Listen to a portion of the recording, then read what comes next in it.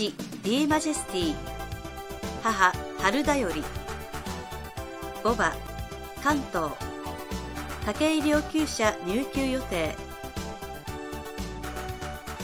伝説の名馬10ポイントを輩出した若雲のファミリー。春若の血統が母屋を変えて藤沢牧場から登場です。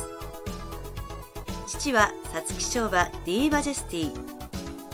父の3区は育成上での評判も良くフリーズアップセールで高度計をマークし仕上がりの速さをアピールしました。骨太で力強さを感じさせる馬体や母の血統背景からは芝もダートもこなせる万能性が望めそうです。